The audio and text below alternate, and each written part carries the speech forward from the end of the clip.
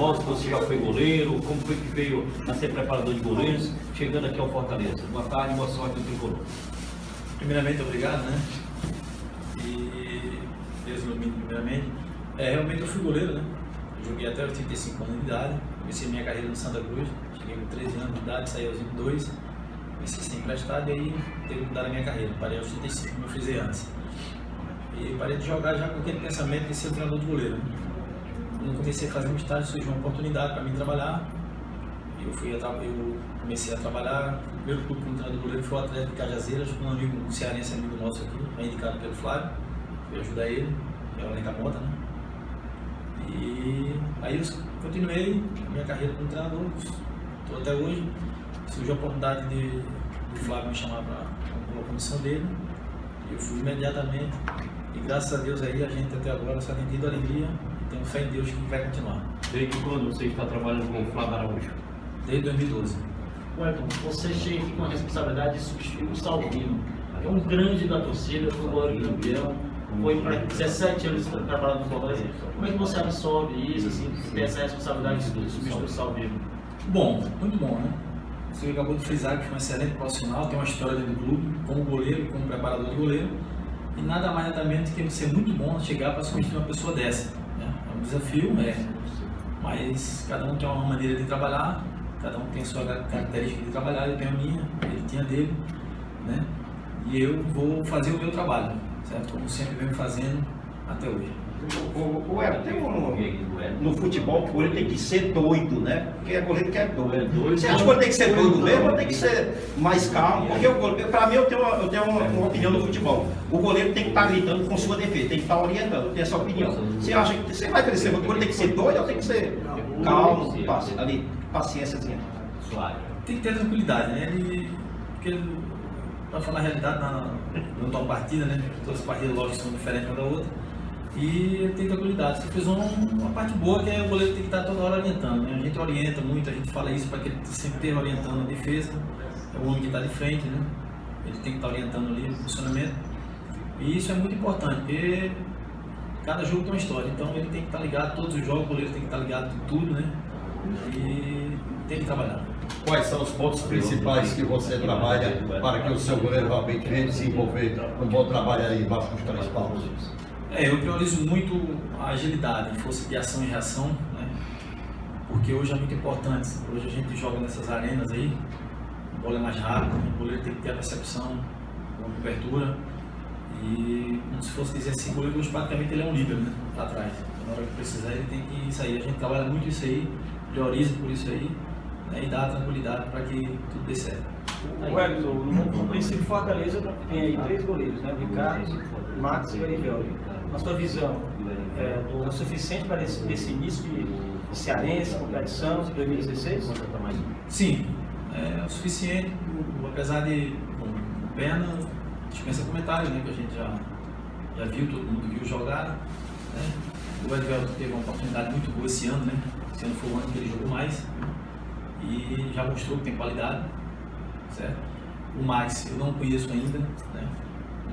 assim, trabalhar, vai trabalhar comigo agora, vai mostrar a qualidade dele, eu tenho certeza que vai dar certo também, e para a gente começar o suficiente. Bem, o Fortaleza tem uma história de grandes goleiros nos últimos anos, Thiago Cardoso, Bolsa, Fazenda, é, mas ele nunca foi um grande revelador de goleiro. O último, provavelmente acho que o único grande goleiro Fortaleza, bom goleiro Fortaleza como Jesus de anos para cá foi o Douglas, que está no Ceará. É, o Elivelton está no profissional desde 2010. E muitos dizem que ele está novo mesmo, ele tem 24 anos. O Livaldo, pelo que você pode ver, ele já está preparado, ele tem condição de ser titular, ou ele vai esperar mais um pouco, ou ele pode, pode ter um sistema de revezamento entre ele e o Ricardo Berna? Não, até porque, respondendo essa última pergunta sua, até porque em caso de um revezamento, a goleira é de, muito difícil, né? Dificilmente, eu acho que quase clube nenhum faz isso, faz esse revezamento, né? O que a gente tenta fazer é o seguinte, é deixar os três, preparar os três durante a pré-temporada, durante a competição, para que aquele que melhor esteja, que o treinador, nem na hora que o treinador precisar, ele esteja no ponto para entrar e um substitui o outro muito bem. Nos momentos decisivos, antes das partidas, você diz, o goleiro sou eu que escolho, ou, ou deixa o treinador, ou conversa com não, não, a decisão é, é do treinador, né? do Flávio. Mas, graças a Deus, ah, quando chega nesse ponto de decisão, como a gente já tem, nesses últimos anos a gente tem chegado muito em decisões, a gente chega, sempre chega bem.